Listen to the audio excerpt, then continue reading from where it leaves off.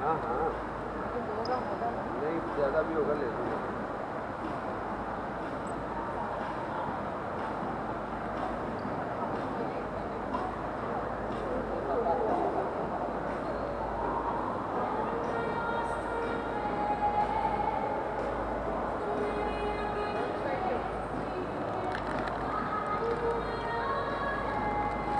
अच्छे हैं यार हाँ रुक नहीं सकते